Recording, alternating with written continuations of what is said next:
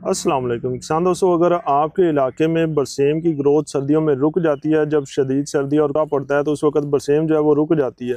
अगर इस मसले का आपको सामना करना पड़ता है, आपकी बरसेम रुक जाती है, चारे की कमी का सामना करना पड़ता है तो इसका बेहतरीन हल ये है कि आप बरसेम के अंदर राई ग्रास को शामिल करें और इन दोनों को मिला के काश्त करें।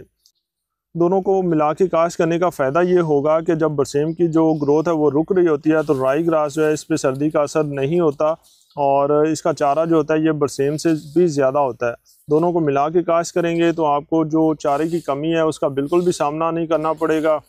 राई ग्रास जो है, वो बरसेम में जो कमी होती है चारे की, उसको पूरा करेगा, बल्कि पहले से ज़्यादा चारा होगा और खूब चारा होगा। राई ग्रास और बरसेम को मिला के काश करेंगे तो आपने बरसेम का बीज जो है वो चार किलो डालना है और इसी तरह राई ग्रास का बीज जो है ये भी चार किलो डालना है। क्योंकि अमूमन हम बरसेम का बीज आठ किलो डालते हैं जब हम अकेली काश करते हैं, लेकिन जब दोनों को मिक्स करेंगे तो दोनों का चार चार किलो बीज डालेंगे और इस तरह एक बेहतरीन चारा जो है वो आपको मिलेगा। एक तो चारे की कमी का नहीं सामना करना पड़ेगा और दूसरा जो चारे की गजाइत है उसमें भी इजाफा होगा क्योंकि दो चारे जो हैं वो मिक्स हो जाएँगे। तो चारे की गजाइत में भी इजाफा होगा और चारे की कमी का भी आपको बिल्कुल सामना नहीं करना पड़ेगा।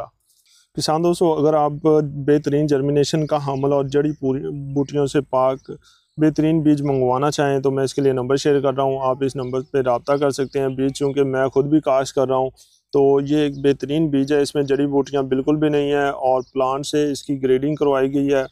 तो मैं इस पर मुकम्मल तौर पर मुतमिन हूँ, इसलिए मैं नंबर शेयर कर रहा हूँ। आप इस नंबर पर रबता करके ये वाला बीज जो है, ये मंगवा सकते हैं।